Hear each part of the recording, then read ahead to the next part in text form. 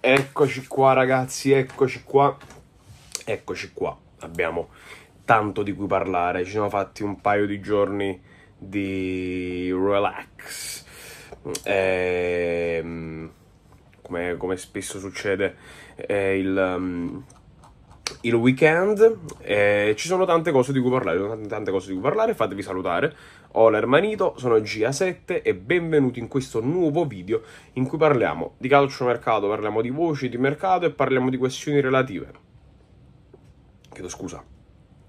Uh, alla difesa, come sempre, perché il focus è sempre sulla difesa.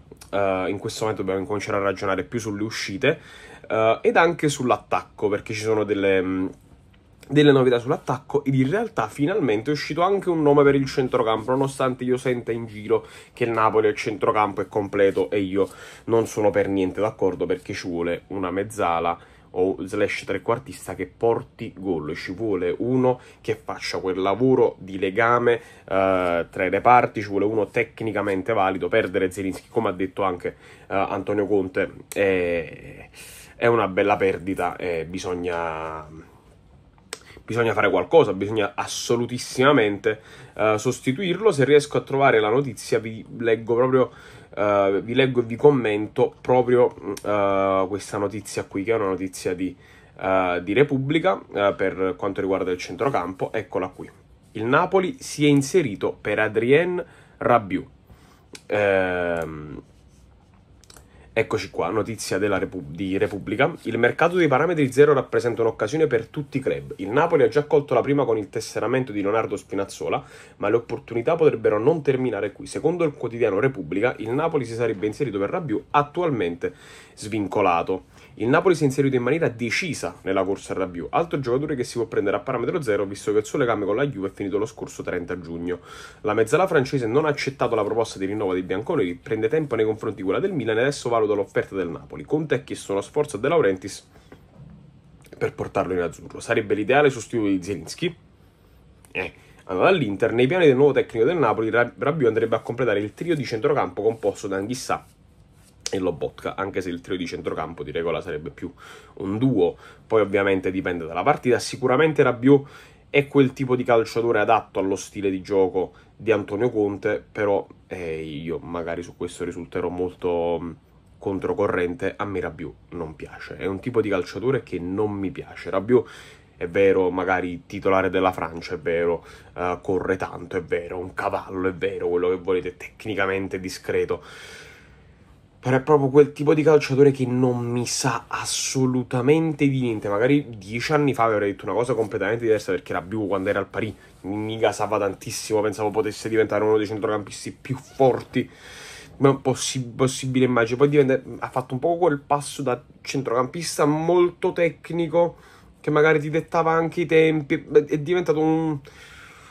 qualcosa che non è né carne né pesce. Ovviamente se lo vuole Conte, lo voglio anche io. Questo è sempre questo discorso. Se Conte lo vuole, io lo voglio. Però secondo me c'è bisogno di un tipo di calciatore diverso, perché Rabiu sarebbe quasi, ovviamente nello stile di gioco, non li sto paragonando, eh, un doppione di Foloruncio. Eh, ripeto, come stile di gioco, come stile di gioco. Ovviamente Rabiu è più forte di Foloruncio. Eh, per, me, per me comunque Foloruncio potrebbe fare meglio, però questo è ovviamente uh, un altro discorso.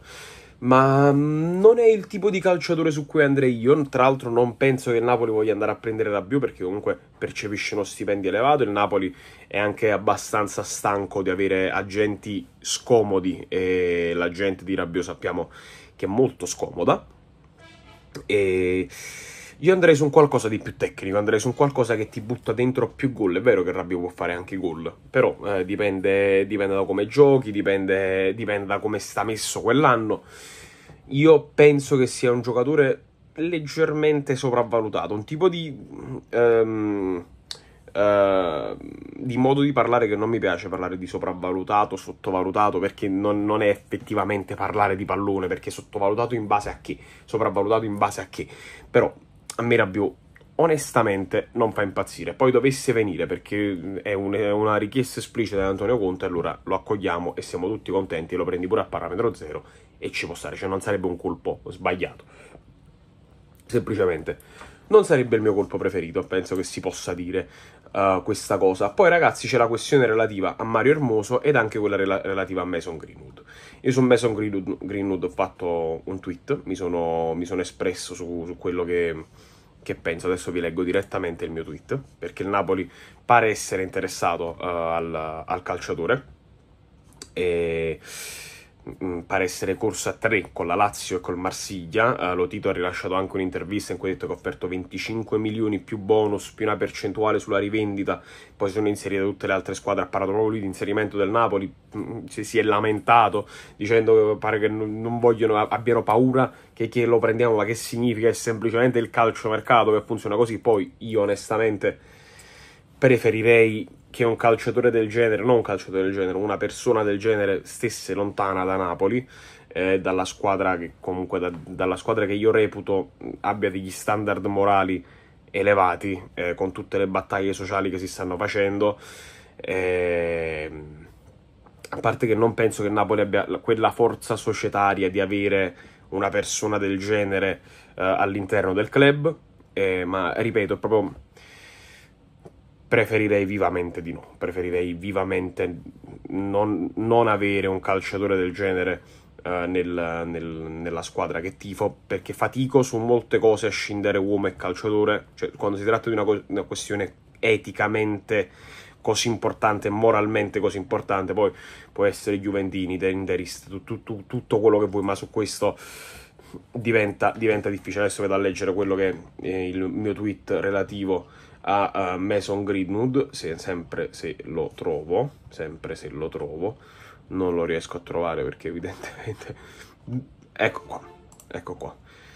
Allora, Greenwood è un calciatore fortissimo, questo è poco ma sicuro, che ha un potenziale ancora più grande e che farebbe bene in qualsiasi squadra d'Italia. Questo per ciò che concerne il campo, ma su questo è indiscutibile, ragazzi, Greenwood è clamorosamente forte, è clamorosamente forte, e, andrebbe ad innalzare il livello di qualsiasi squadra di Serie A e probabilmente d'Europa, ambidestro, gioca a destra, gioca a sinistra, gioca a punta, ma veramente non gli manca assolutamente niente. Però penso che sia almeno giusto, poi potete schierarvi da una parte e dall'altra, a me non interessa, io questo è il mio pensiero, però penso che sia almeno giusto fare un'informazione corretta. Per quanto riguarda il lato umano, lui non è stato mai assolto questo è quello che mi dà fastidio. Non, di, non, di, non, non, si può dire che sia stato assolto, perché non è stato mai giudicato. L'unico motivo per cui non è dietro le sbarre è che la sua, la sua, sua in realtà attuale fidanzata e madre del figlio, uh, Harriet Robson si chiama, ha ritirato l'accusa come implicitamente dichiarato dalla polizia di Manchester, che aveva anche parlato di nuovo materiale venuto alla luce, che ovviamente non è stato mai presentato. Il fatto che Greenwood sia stato perdonato, anche se graziato, secondo me è un termine migliore, non significa che non abbia fatto quello che è chiaramente documentato ovunque. Per quanto mi riguarda, preferisco che gente così rimanga lontana dalla squadra che tifo, considerate anche le tante battaglie sociali portate avanti. Cioè, quando facciamo poi eh, il um, a, novembre-ottobre eh, il, il post contro la violenza sulle donne, con quale credibilità lo facciamo? Con quale credibilità lo facciamo? Ragazzi, parliamoci chiaramente. Ehm eh, qui sento dire eh, ma non significa nemmeno che lo abbia fatto, si è innocenti fino a prova contraria, magari a livello giuridico, ok, ma è, è, è letteralmente documentato quello che ha fatto Greenwood, cioè non si può uh, dire che non l'abbia fatto, semplicemente è stata ritirata l'accusa. Molto semplicemente, magari la fidanzata l'ha perdonato. Esistono milioni e milioni di casi in cui queste cose succedono eh, in, in, relazioni che poi finiscono male. Eh, neanche O.J. Simpson è stato, eh, è stato, trovato colpevole. Significa che, che, che non lo sia? Onestamente, onestamente non credo. Eh, nel frattempo è uscita un'altra notizia, ragazzi, fresca fresca di cronache di spogliatoio Patrick Dorgu piace molto ad Antonio Conte da un obiettivo di mercato del nuovo Napoli. Lecce però chiede 18 milioni di euro. Antonino Gallo è in uscita perché vuole trovare una squadra con più ambizioni, quindi il responsabile dell'area tecnica Pantaleo Corvino non farà sconti. Corvino tiene molto la permanenza di Dorgu perché è convinto che Lecce possa fare il salto di qualità. Così la buttiamo dentro, così.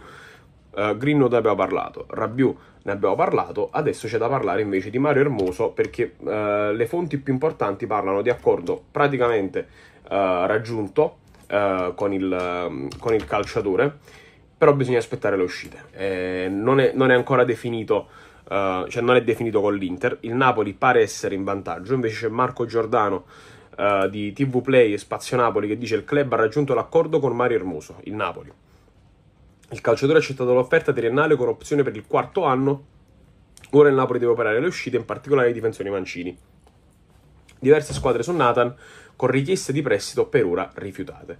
Quindi uh, il Napoli è praticamente ad un passo da Mario Hermoso, deve solo fare eh, deve solo fare qualche eccezione, deve fare qualche eccezione, deve muoversi sotto questo punto di vista perché le entrate, cioè, è, è, è, raro vedere il Napoli che compra tanto e non riesce cioè, e, e, non vende. Tra l'altro sono curioso di vedere, abbiamo visto che Manna è uno molto creativo con le operazioni, abbiamo visto che è uno che sa comprare, uno che sa operare a parametro zero, adesso bisogna vedere se sa vendere, come sa vendere, perché questa è, una caratteristica molto importante. Ehm, e quindi attendiamo e vediamo tanta carne a cuocere. Ragazzi, mi raccomando, fatemi sapere quello che pensate voi con un commento qua sotto, lasciate un mi piace, iscrivetevi al canale, in descrizione troverete Facebook, Instagram, Twitter, tutto quello che volete sarà lì giù, troverete anche G7 Shorts, il mio canale pubblico teleclip, momenti iconici, momenti divertenti del canale, TikTok preferiti, noi ci vediamo la prossima volta, sempre e comunque, tutta la vita, Forza Napoli.